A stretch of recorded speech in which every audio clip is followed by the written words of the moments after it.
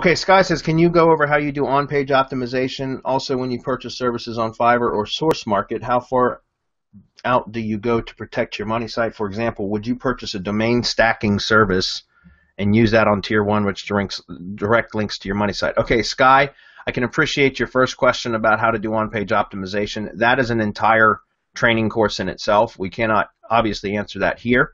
Uh, that would take up the rest of the time, and then it would still be a le- leave a lot of questions unanswered about how to do it. so, if you want to learn on-page optimization, I would recommend that you join our mastermind where we talk in uh, in depth and have lots of training in there already about that sort of thing.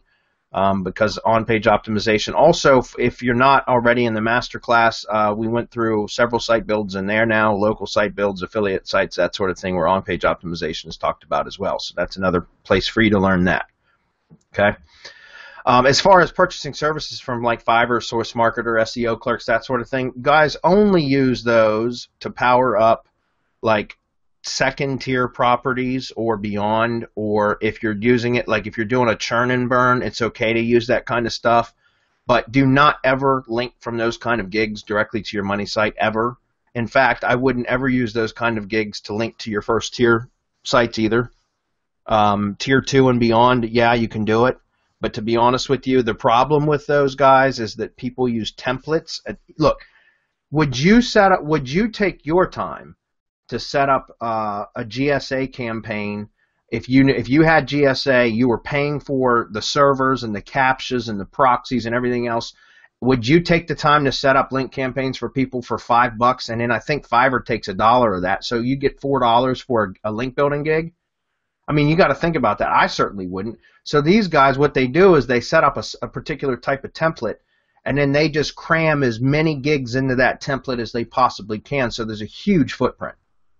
So, and it's the only way that they can do it because it's not, they're not making enough money on the gig in order to, to to justify spending any time on setting up like unique campaigns, right? So, to be honest with you, those are really, really, really poor link building gigs. I, I don't recommend doing it for anything other than a churn and burn strategy or for uh, you know tier two and beyond.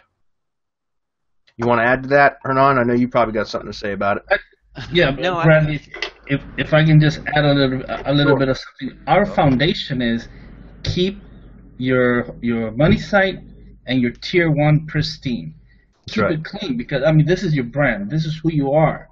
This is this is this is what you're showing the world. And if you're going to throw garbage at who and what you are, then th- that's how it's going to end up.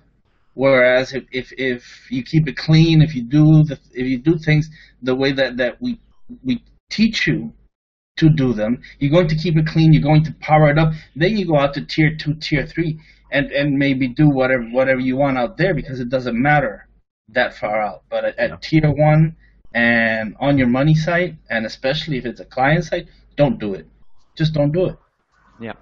And Sky, if it is your own website, and as Marco was saying, you have, you can uh, risk it in a way.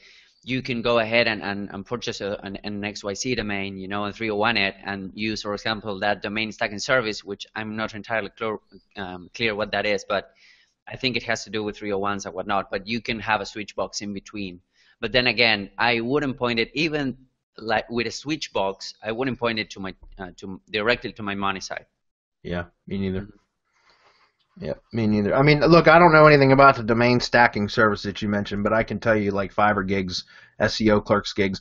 I mean, there, there's certain there there uh, there's a time and a place to use those kind of things, guys, but it's not anywhere near your money site. I can tell you that. So.